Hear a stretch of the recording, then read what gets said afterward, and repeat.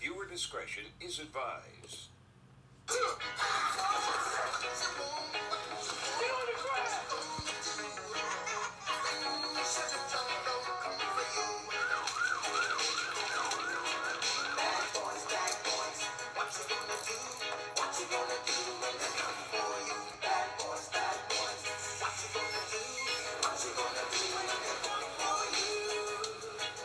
Is filmed on location with the men and women of law enforcement.